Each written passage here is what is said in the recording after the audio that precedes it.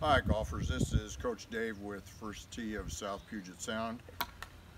Missing you guys not being able to get out on the golf course with our First Tee classes. Uh, hope you're all staying safe. An activity that we can do in the backyard at home is a fun one that I enjoy with myself and my little driver is using the birdie balls, which are these limited flight cylinders that fly like a golf ball when struck properly. You can use a doormat, you can use the strike pad.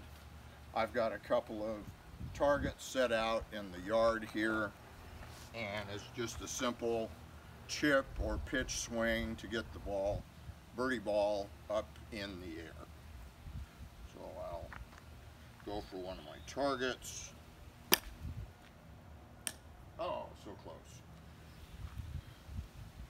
As you can see, we've got our safety zone set up. My little driver waiting patiently, giving the coach the business as usual. Do one more, see if I can hit the farther target. Extra points if you hit the little car. Oh, almost stingered it. It's in her house. all right. I hope you're all safe during this time of social distancing and hope to see you out on the golf course soon. Coach Dave out.